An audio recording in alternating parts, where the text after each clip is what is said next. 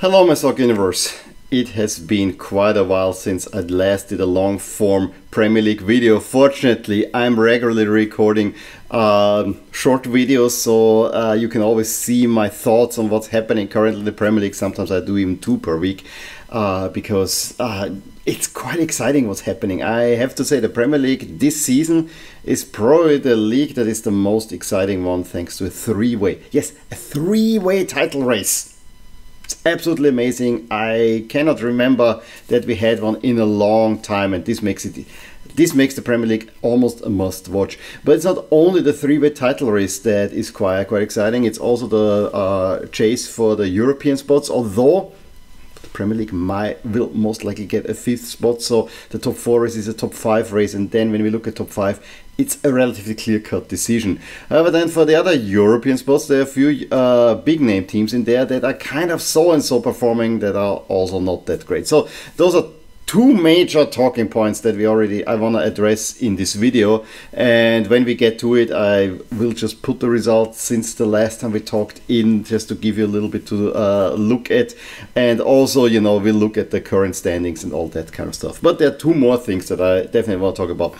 The, the relegation battle, including PSR rulings, profit and sustainability rules, or you know the uh, the fair play rules, kind of financial fair play rules that uh, the Premier League has, where we saw already two teams deducted points, uh, some teams got points back, and uh, you know it's all about Everton. Everton might get another points deduction there. Uh, and with all the appeals processes going on, this might well drag into the summer, so well past the end of the season. And it, we could very well find us in a situation where we don't know who is getting relegated, which is not an ideal situation uh, to say the least. I'm sure there will be a solution found there as well. So that's another major talking point that I want to address. And uh, the last one are, of course, the cup competitions. However, the one that I'm I don't want to say most excited, but that actually got me a little bit excited is what happened at Crystal Palace. There is an Austrian coach uh, Crystal with Oliver Glasner, and in case you don't know, I mean, He's probably known in England for dragging Wolfsburg into the Champions League, for getting Frankfurt, uh, winning the uh, Europa League with Frankfurt. However, for me, he will always be the coach that got LASK not only back from the second league into the top league in his four years that, uh, that he worked at LASK, but really made them a top team. And uh, his leg legacy is still looming large at LASK. I think he's an excellent, excellent coach one that I actually feel will be undervalued at Crystal Palace because he's definitely one that wants to push forward, and I'm definitely gonna follow his progress. But I would say we'll start with the cups, and I want to start with the League Cup because the last time we had kind of the semi first set of semifinals. I mean, semifinals in the League Cup went about as you would, would expect. Chelsea made a big turnaround against Middlesbrough. Uh, Liverpool saw it out against Fulham, so it was Chelsea against Liverpool in the final at the end of February. So there's a little bit more than a uh, month ago. And what a final it was. I mean, first off, Liverpool had so many injuries at that time that they more or less played the kids and the final, the main storyline became how did Chelsea not win, win this one? I mean, Chelsea were pushing at the end of regulation to find the winner. And then suddenly in overtime, think Liverpool uh, first was, was slightly better if memory serves us right. I mean, it's all a blur at this time. Uh, but I, if memory serves me right, Liverpool had their chances, especially early, but then Chelsea were pushing. But then when overtime started, suddenly it was again more Liverpool than Chelsea, and Chelsea were holding off for penalties, and they didn't even make it to penalties because Van Dijk scores a very late winner after a goal of his was already denied in regulation. Uh, Klopp definitely said that this is emotionally his biggest uh, trophy win, although it's probably the smallest trophy that he has won. But just the fact that he had to play the kids and uh, they stepped up is probably a big thing but it also has, has to be said, I mean, uh, Chelsea should have won that one. Did not go as well for Liverpool in the FA Cup. Yes, they reached the quarter, quarterfinals. I mean, had a very a good draw, but uh, the FA Cup this year let's be frank, there were not that many great stories. Yeah, Maidstone United, but then they got by Coventry City because they went away to Coventry City. And the draw did not work in their favor. Yes, beating Ipswich away from home was a big deal there. Uh, other than that, the upsets most of the time were missing. You know, uh, when we look at the round 16, uh, we had Newcastle needing penalties against Blackburn Rovers. We had City easy over Luton. Uh, Chelsea beating Leeds United, although Leeds United gave them a real scare. Uh, we had Manchester United making it past uh, for, for Forest, also not looking great. Wolves over Brighton, uh, and Liverpool an easy one over Southampton. The quarterfinals, though, stepped it a little a little bit up when we started out with a big surprise with Coventry City winning at Wolves scoring a very late goal. I mean, Wolves seemingly had turned around in a stoppage time. Coventry turning around again. Uh, City, of course, over Newcastle. Chelsea, also another scare. I mean, Chelsea, uh, Chelsea eliminated all the good teams in the championship, although Leicester is a little bit on downward trend there. But they need two late goals to beat Leicester City. Uh, so that was not easy. And then an epic, epic United against Liverpool account was always going to be the biggest one. This time, actually, it lived up to the billing where United actually started out well, got the lead, though Liverpool turned around just before the half and seemed cruising However, they do not convert the few chances that they're having, and United find a late equalizer in overtime. The Liverpool retake the lead, and still United uh, find a winner. And I think last the last one was even uh, at the very end of overtime. This was an amazing game, probably one of the best games of the season, and probably one of the few highlights. The draw for the semi-final, which are happening at the end of uh, this month now. Uh, City face Chelsea. Chelsea kind of a little bit of a cup team at this moment, and probably they need this to get back in, into Europe. I still will see City will win this one, and Coventry will host United. The way that United are trending at the moment, you would think that Coventry have a chance. Uh, interestingly, if Coventry would make the final, I think the playoff final for the championship is scheduled the day after or two days after uh, the FA Cup final, so that might cause some scheduling issues as well. So watch that. That, that, spot if Coventry really should make it. I think it will be a Manchester final again. This leads us now to the Premier League, and let's first talk this really, really, really exciting title race. Uh, we had in the time since we talked all three contenders meeting each other with Arsenal holding slightly margin. If you look at head to head, uh, Arsenal won both their home games. Um, we had both of the others only drawing at home. But you know, I think if everything goes right, I think Liverpool actually win the two home games as well and might be in a better shape.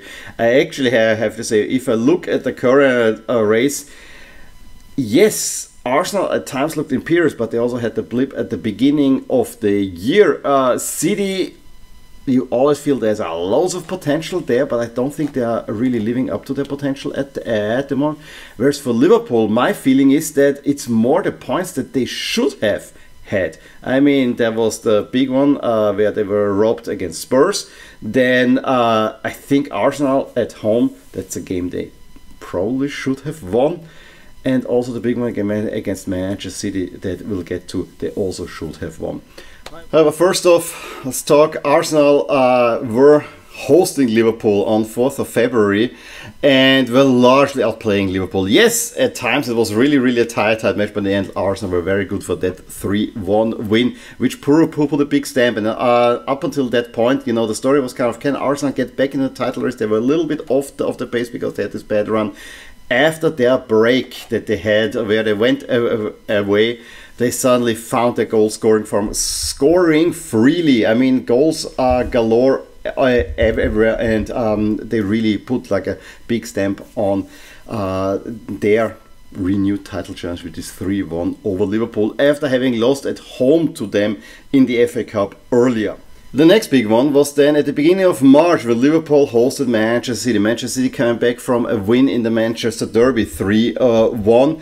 And that was a game, was really, really good. But uh, it was uh, City took took lead through a well worked corner. However, Liverpool then find find find, find equalizer early on, and they should have scored the winner.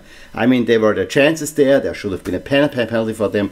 Uh, it was actually amazing how much Liverpool uh, really uh, rattled City, and City did not look like the team that they should be. And um, I think Liverpool were very good for that win. And then we had on the past weekend, and this was actually the previous two were really, really good games. But going into this uh, big clash on the weekend between City and Arsenal, so this is the last time that the uh, top three um, uh, was a duel between the top top top three it was that uh, Arsenal and Liverpool were level on points with City a point behind. Liverpool had actually won already before that, so they were retaking the lead in the league. And it, was clear whoever wins the game between City and Arsenal will again be in the, in, in the lead. But it also felt like that Arsenal potentially could live a little bit more with the draw, especially going to City where they have been losing badly over the last few years and Arsenal came only out to defend. City could not break them down. I found that Arsenal were bending but never breaking. I mean, the biggest chance was an Ake header early on in the uh, first half. But other than that, not many big chances, and also not many big chances for Arsenal. It was actually a really, really dull game, as was the first meeting between those two. So I really don't want to see more of these, although we might get this in the Champions League. Even you know, uh, both could meet in a semi-final as far as I remember. So uh, better not this, uh, this one because uh, although these teams can be really exciting, that was not exciting. But it also has to be said in both cases, um, it was not a must win, it was more like a must lose.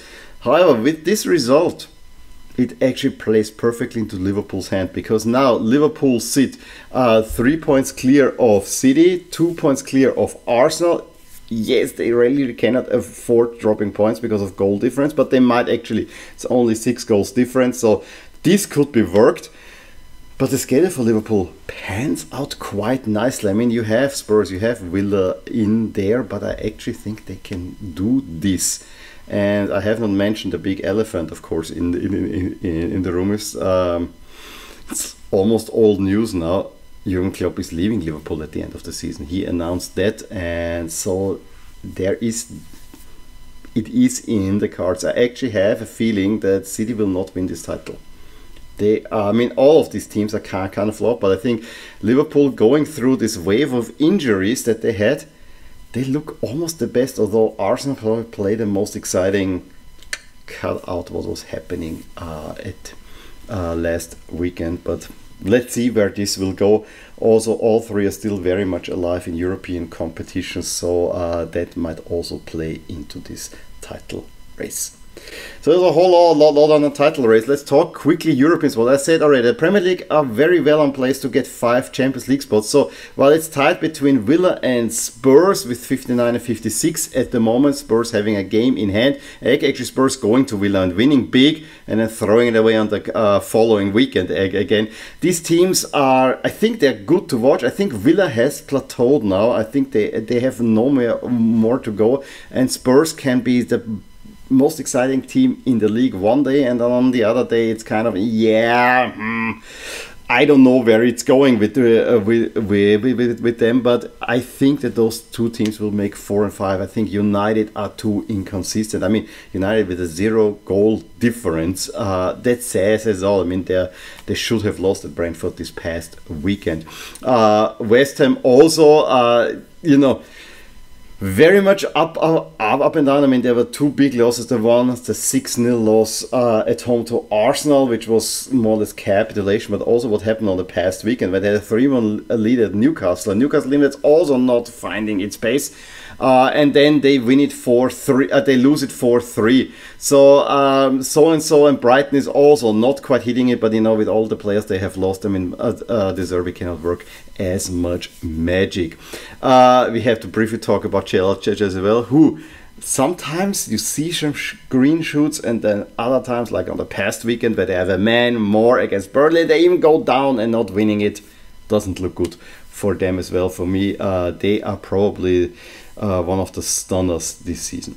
Uh, Also want to mention Wolves. They have they also have a weird form. They have some really bad losses, but then they have also some big wins, like at uh, Chelsea or at Spurs and and and, and so on, which uh, shows you that there's actually a good team there, but also consistency is lacking. So there's this big mid-table region, which leads us now straight into the relegation battle, uh, where it would be so easy if it wasn't for the points deduction. I think Luton at a point, it seemed like they might survive, and then they had a 3 0 lead at Bournemouth and threw that away, losing 4 3. And I think since then, Luton is never really the same.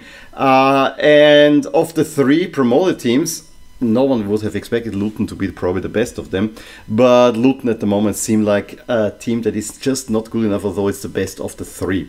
I have to say. The only thing that keeps Luton afloat are the points deductions. Everton the point deduction of initially uh, minus 10 was now reduced to minus 6 points uh, through PSR breaches. And probably this week there will come another one. And Forest was also hit with a 4 points deduction.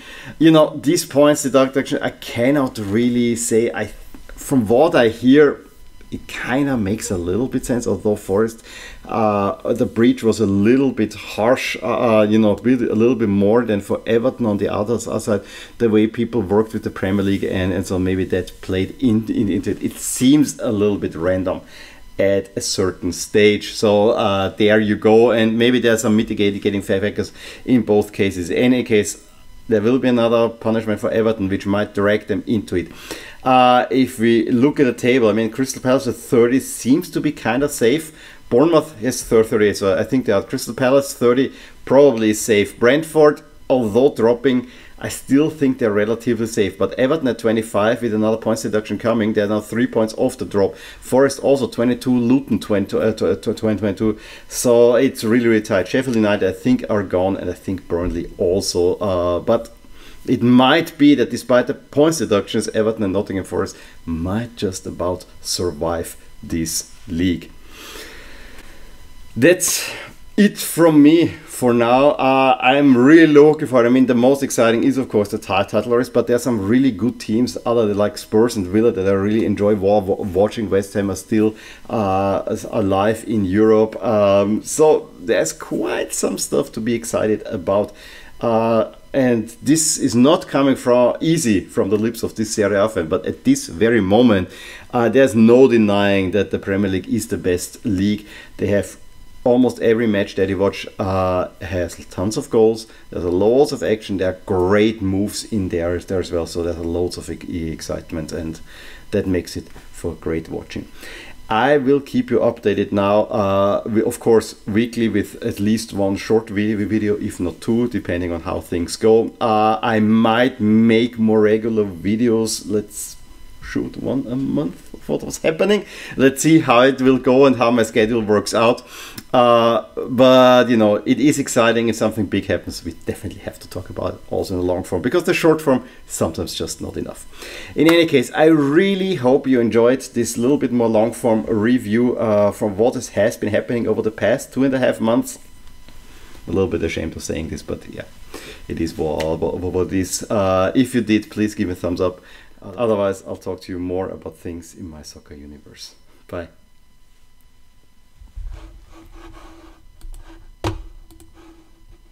Hey there, I really hope you enjoyed this video. And if you did, here are some videos and playlists that you may enjoy too. Also, please consider subscribing to my channel and hit the little bell icon so you get notified whenever something happens in my soccer universe. And with that, have a wonderful day. Bye!